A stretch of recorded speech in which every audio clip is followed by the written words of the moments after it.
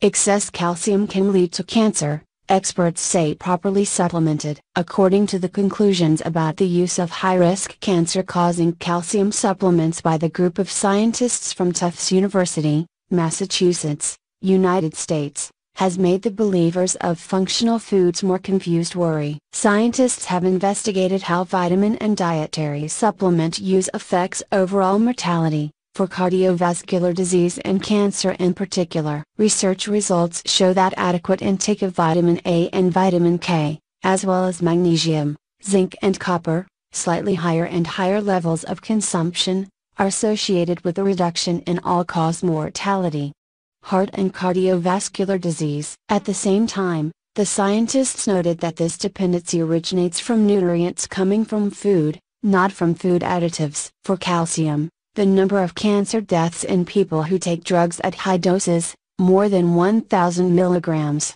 day, is twice that of those who do not use such supplements. In addition, the evidence is that irrational vitamin D supplementation, in people without deficiency, may increase the risk of all-cause mortality. Postpartum due to improper calcium supplementation. 95% of our bones, teeth, and nails are made up of calcium and are damaged daily through sweat and urine. Along with age, calcium loss that occurs without compensation will lead to osteoporosis, osteoporosis and bone resorption. Choosing incorrect calcium, Overdose supplementation leads to constipation that the body does not absorb well is one of the common mistakes. Improper calcium supplementation can cause mild to severe complications such as loss of appetite, constipation, nausea, fatigue, muscle pain, bone pain, and excessive urination. In addition, excessive calcium supplementation, the amount of unabsorbed calcium causes the following diseases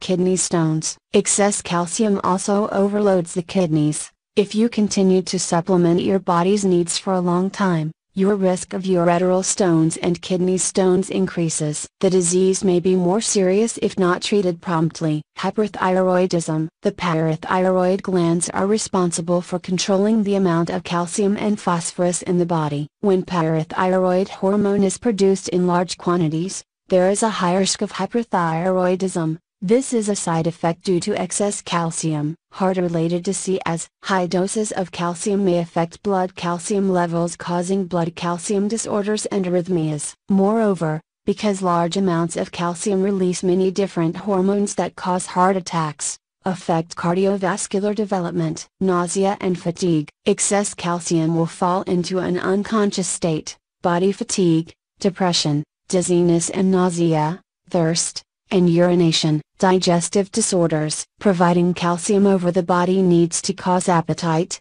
abdominal pain, and diarrhea. Excessive calcium supplementation often causes constipation. How to properly supplement calcium. When calcium supplements are taken into account, the following points should be noted. Calcium should be taken in the morning, after meals about 1 hour, because sunlight can increase calcium absorption. Do not eat too salty because it can increase calcium excretion in the urine. Do not drink calcium with milk and milk preparations. Do not drink calcium with iron as well as some other minerals such as zinc, copper. At the same time, but should separate morning, afternoon, evening. Limiting the use of tobacco and alcohol because using these two things also makes it difficult for the body to absorb calcium.